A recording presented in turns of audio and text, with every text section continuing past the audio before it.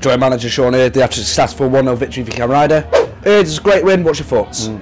It's a win, and, and, to be fair, mate, I think that's it. We've uh, got three points, kept another clean sheet, uh, you know, which is something we alluded to um, at the start of the week. We take pride in it.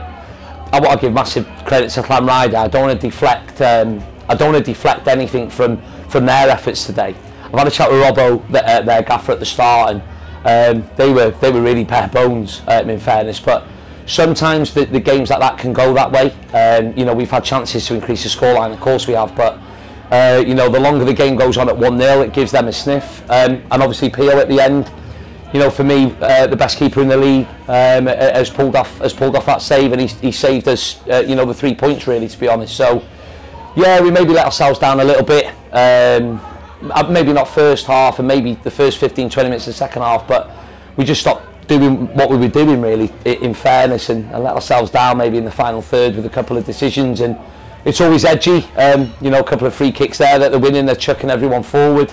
But yeah, three points at the end of the day, and uh, yeah, we can go into uh, the Christmas period now in second place. So you said you mentioned that we let ourselves down. Do you believe we let ourselves down by not making it a bigger scoreline and not creating chances enough? I say the scoreline, mate. To be fair, if you're looking at the chances in the game where we've um, we've opened them up and Evo's chosen to pass instead of shot, which I don't really know why after he scored that hattie. Willow's gone through one on one and somehow put it over. We've had uh, John Bennett's header from a corner. Uh, we've had good opportunities where we've got, you know, into the box, and it's a little bit of a, it's a little bit of pinball where maybe the the right decision. It's you know, it's a tap in for somebody. You know, that's that's what we did for the goal. You know, we we um, we anticipated that they may may, uh, may may have made a mistake, which they did. And then Az was in the right place at the right time to score. Um, and yeah, you know, I think looking back, we've had we had a number of chances really. I think Crushy at the end of the first half was one as well. But as I said, mate, you know, the longer it stays uh, one 0 it always gives the oppo- uh, it always gives the um, uh, opposition uh, a glimmer and a sniff. And uh, yeah, you know, like I said, Peel's pulled off a brilliant save there to keep the scoreline at one 0 uh, Final question. Obviously, the January transfer window is coming up, and a bit of a fan question. Will we see any new faces coming into the squad? We've identified some targets. Yeah, we've identified some targets. Um, you know, we obviously have, uh, you know, we, we asked Ashley to stay at home today.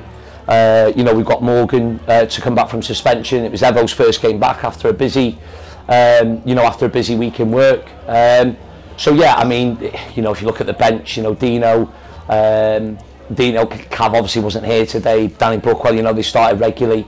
Max, um, you know, Max needs to be, uh, well, not needs to be, he's always knocking on the door. Max, to be fair, his attitude is brilliant.